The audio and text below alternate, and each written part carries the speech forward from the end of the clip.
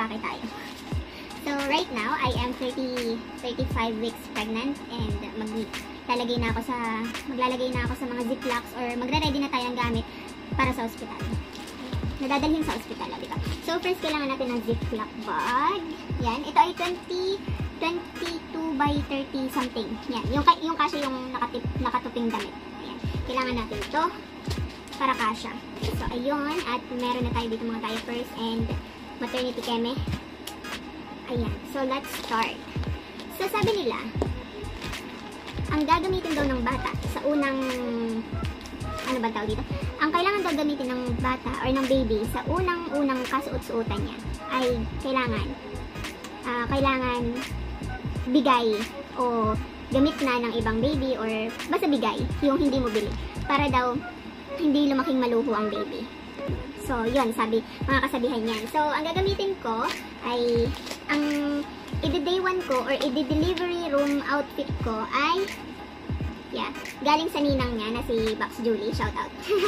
uh, ano, ito, isang set ito na binigay niya for delivery room. Um, receiving blanket.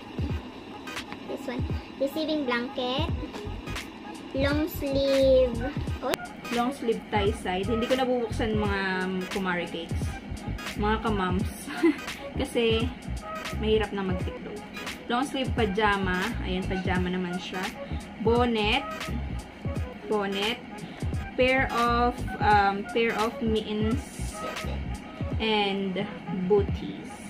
Ayan. And one diaper. Ayun. So, ito na lang ang kulang. So, ang binili ko nga pala sa diaper ni Bibi ay ang Magic Dry. So, syempre, um, as a first time mom, ngayon, lang naman ako mag-iiri ng bata. Ano, hindi ko alam kung ano ba yung hihiyang sa baby namin. Kaya, ito try ko muna to. So, napakamura nito. Parang wala pa itong 100 pesos. Yan. Newborn. Ayan. Newborn. Up to 6 kilograms. So, diba? Okay. And then, hugot tayo ng isa. Ay, ang cute. Ang cute. My goshness. So, ayun. Hindi ko na siya kakabuklatin kasi kailangan ni baby ng malinis na ganito. Ayan. So, kailangan ko ba siyang ipakita ng, ano ba?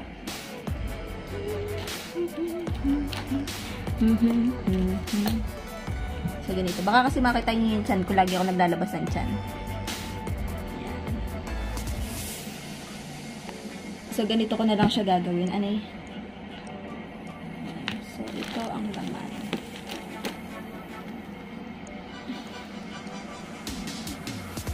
The receiving blanket first.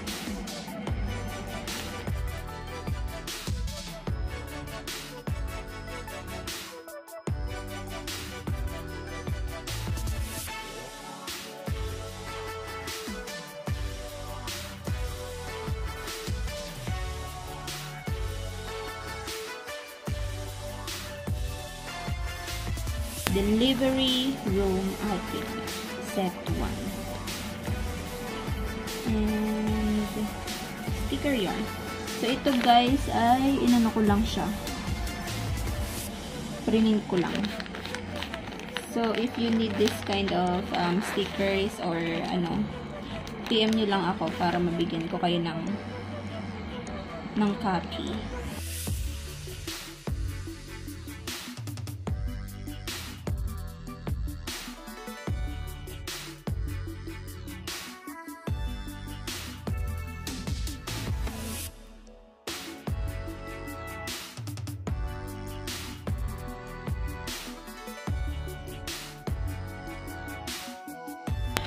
sleeve tie side pajama check, bonnet check, blanket check, pair of mittens, pair of booties, diaper. Okay. Alright. And then, sinawin po natin ang kanyang bukas-bukas, ang kanyang hangin. Mm-hmm. Mm-hmm. Yan. That's the set two.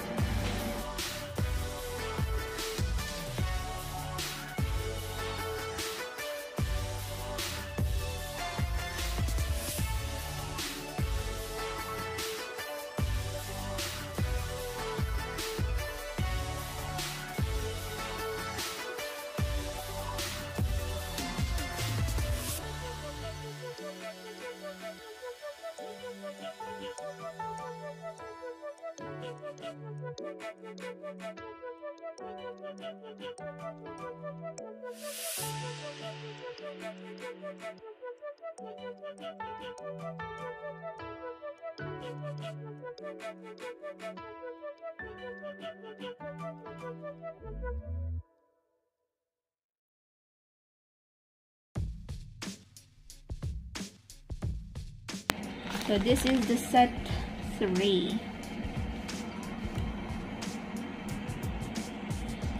Hey now, hey now. Oop. Okay.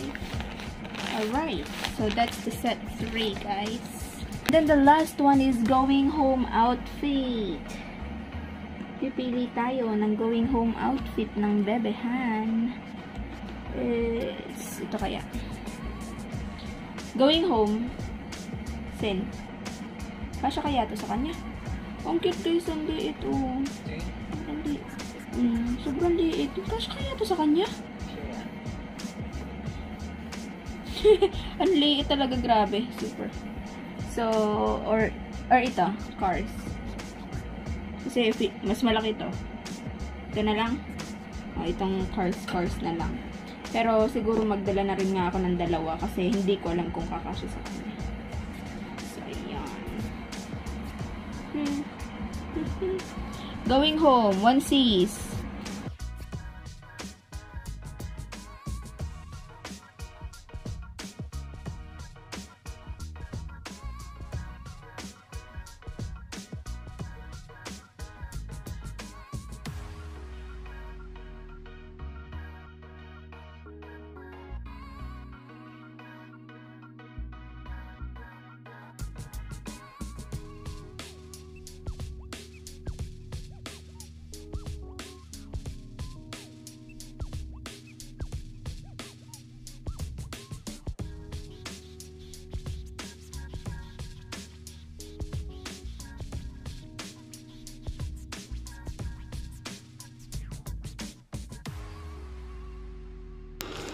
So that's the going home outfit.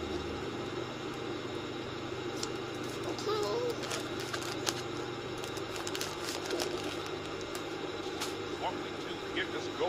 And then the next one is extras. Okay, for the extras, we have three pajamas, three bibs, three washcloth, blanket, bath towel. Oh my god! Wow, yan. Maglalagay lang tayo dito ng ano. Maglagay lang ako ng tatlo. Tatlong lampin. Shorts niya, na rin. Tapos yung mga high sides niya. Ayan. High sides. And diapers. Washcloth. Dapat kunin mo nga yung washcloth dun sa ano. Tsaka yung mga bib.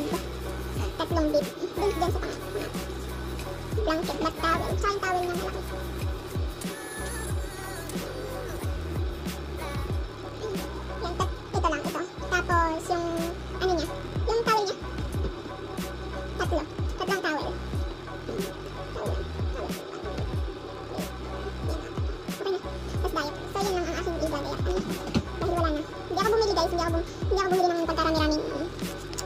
Ang tawag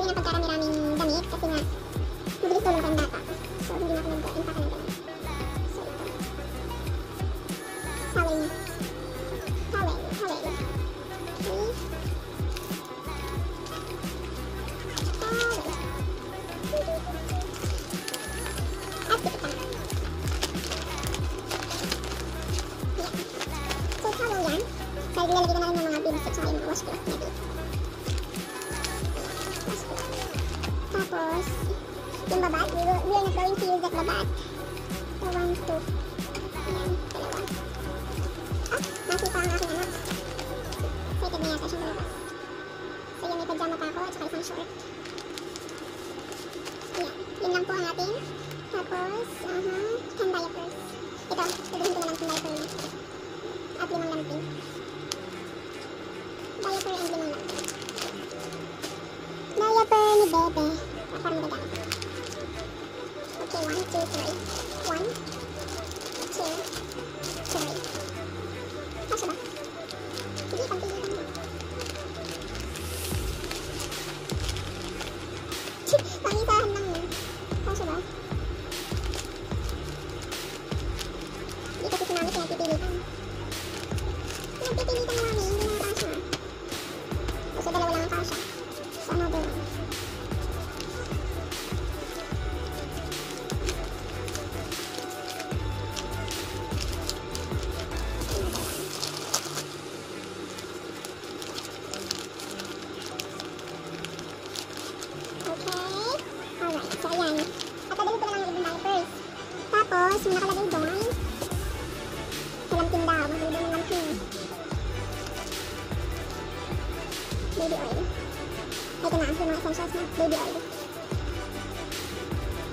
Baby oil.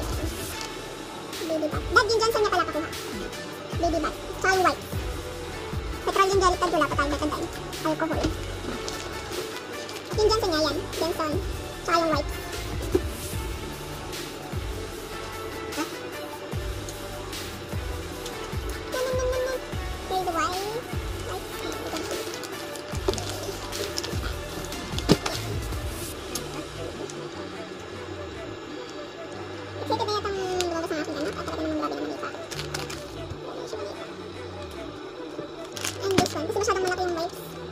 Kaya ginanon ko na lang. So ako, mag-i-impake ako, ewan ko. Kasi mayroon akong Mami 1, Mami set 2, set 2 going home. And yung essential ko. And toothpaste, toothbrush, chemido. Impake natin aring documents eh. Ito dito. Tapis. Isang pirasong pranela nga. Isang pirasong pranela sa day 1 ay delivery. Pirasong pranela. Lampin. Tatlo. One, one, two, three. Tatlong lampin. Piraso. Piraso. Bonnet. Alcohol. Alcohol. Roll cotton. Ay, kailangan. Kasi yung roll cotton. Ito, roll cotton. Ayan, roll cotton. Roll cotton bottle baby oil, diaper, nandito na. Adult diaper, dad. Nasa na yung adult diaper? Yun na lang ang kulang. Tapos isang plastic, ito na lang ang kulang natin. Adult, adult diaper, tsaka yung plastic container. Nandun sa lagay ng globe yun eh. Paano sa taos? Ayan. So ito yung listahan na binigay ng ospital.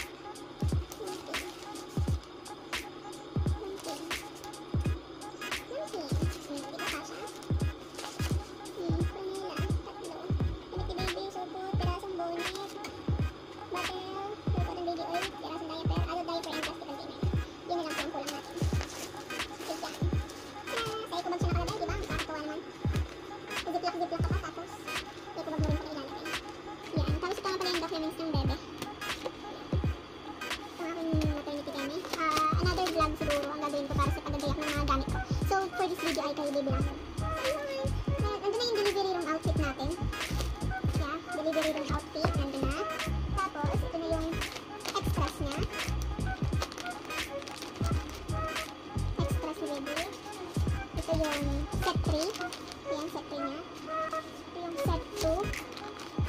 Set 2. Ito yung set 4.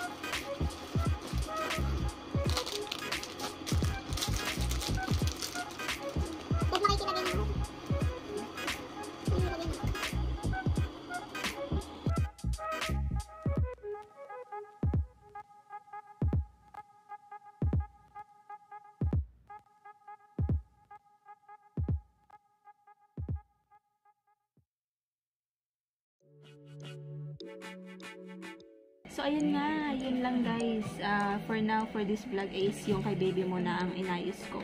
At sa mga susunod na mga araw ay siguro yung akin naman. Kasi 35 weeks na nga tayo. 2 weeks na lang, pwede-pwede ng mga anak kung gusto ni babyng lumabas, di ba? Malapit na. Kabado na yarn. so, yun lang. Thank you so much for watching and see you again on my next vlog.